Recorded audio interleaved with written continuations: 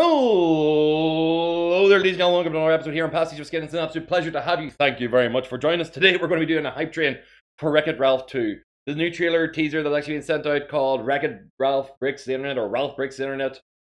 I've already watched this and I have opinions, so I'm going to talk about them now for the next couple of minutes while this is playing in the background. But essentially, with Wreck It Ralph 2, they're deciding to take Ralph out of the arcade and send him onto the internet and spreading his Wreck-It mentality and destroying right, things unintentionally. Oh, the in. Pearl boy. I've been essentially looking at this trailer a few times now, and with the concept of actually literally just making Ralph just go to a new place to wreck things, just without the actual kind of like overarching I'm a bad guy and that's okay kind of storyline, I'm not massively enthused because essentially it worked for the arcade world. It worked for the world where he essentially anything he did, anything he damaged while he was there, was going to actually have an impact on his environment because then games were going to get shut down. And they were actually no longer going to be played. Their, their, world would end ostensibly.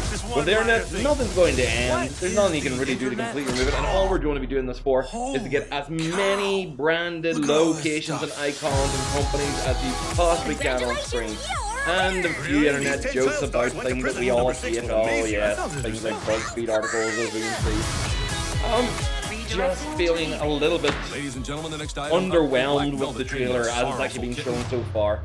It's not that, that, that it's really, really bad. Yeah, it's gonna look good. It's gonna have a few funny bits. I like some of the jokes that are done in this trailer, but it doesn't feel like they've really kind of grown on. They've just actually like tacked on in an external world, which is the modern sense of gaming, which makes a lot of sense because the arcade world of the original movie was very nostalgic. It was um, probably playing a lot more to the parents watching than the kids playing it or watching it, and this is gonna pretty much make jokes about the culture that we have, games, especially this little teaser bit where it's actually like swipe games of left right which is probably going to scar some children so so horribly. The bunny gets the pancake.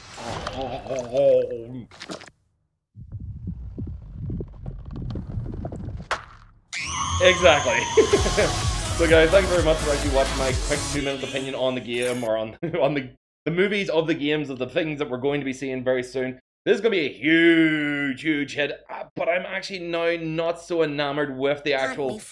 I'm not so enamored with what they're planning to do with Wreck-It Ralph. Like That's the problem. Uh, if, if, if they had maybe done connectivity with the rest of the world kind of like being introduced to the internet and actually going like well now we got all the games connected now we have online leaderboards where people compete with each other and you actually see it being done that way where they actually might be exposed to a new environment rather than actually literally just lifting these two characters and putting them elsewhere.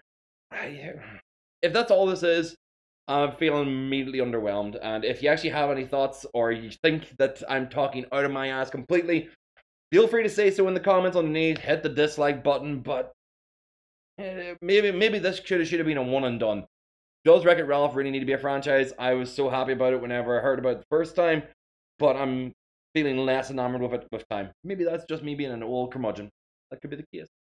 But if you actually think that's the case, then make sure to tell me you think so in the comments below.